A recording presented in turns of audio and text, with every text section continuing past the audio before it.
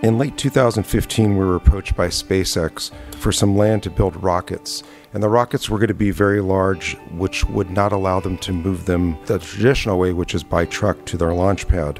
Therefore, they needed property with water access. We identified a 19 acre parcel that was sitting fallow since 2005 that once homed the Southwest Marine Shipyard.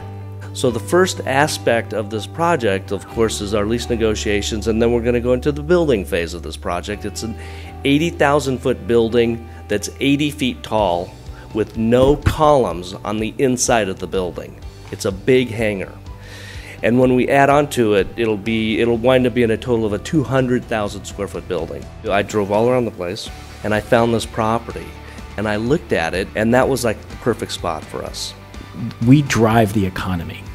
And most of the stuff we focus on are the industries and the growth of today. But we also have to plant the seeds for tomorrow. So we are bringing SpaceX to the Port of Los Angeles.